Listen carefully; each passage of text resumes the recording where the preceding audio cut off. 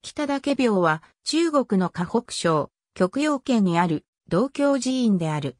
道教豪竹の一つである常山を祀る寺院として壮大に建築された。当時、常山一帯は領の支配下にあった。元時代に建てられた特寧の天は同時に現存する道具の中では最も古く、かつ規模の大きい木造建物である。北岳廟にはこの他三つの門と八角円堂があり、また多数の石碑が残されている。北岳廟の前身は北義、または唐の時代に建てられたものと考えられるが、この場所そのものは漢時代の紀元前2世紀頃には何らかの目的で使用されていたようである。寺は2回にわたって再建されている。1回目は、吉丹族によって950年代に破壊された後の991年であり、2回目は1270年である。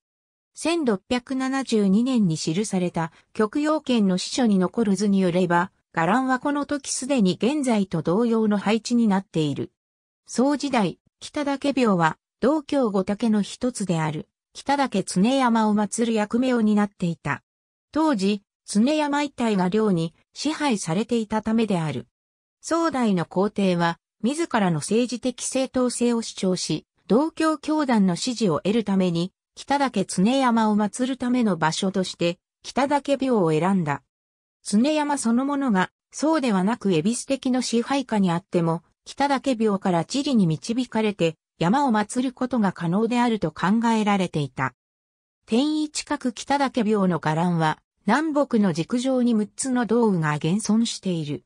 南から順に門、明治代の建造である八角円堂の天意近く、さらに2つの門の後に特寧の天と続く。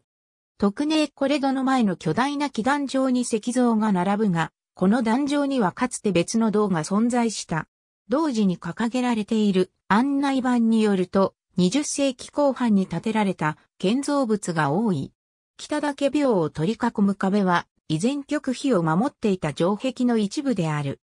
南門はかつて町の主要門の一つとして使われていたものである。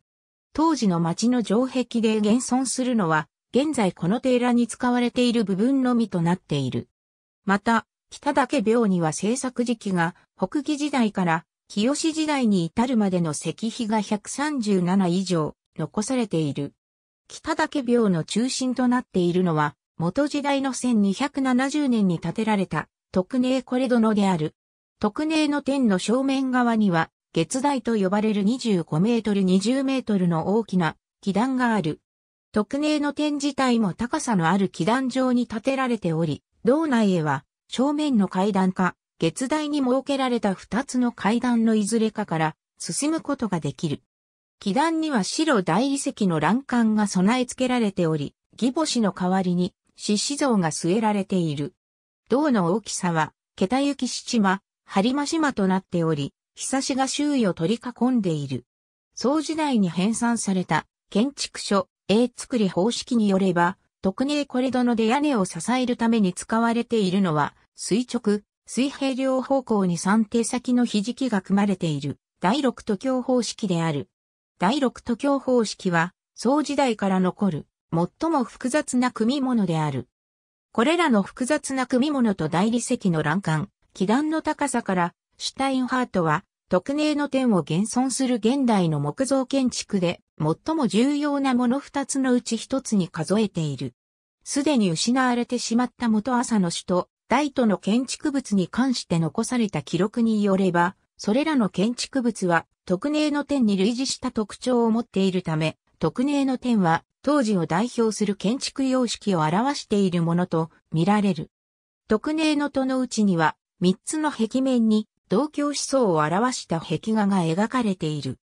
西側の幅17メートル高さ7メートルの壁画は、東大に制作されたものとされ、地元の水神と飛天が描かれている。東側にはほぼ同じ大きさの壁画があり、竜王が描かれている。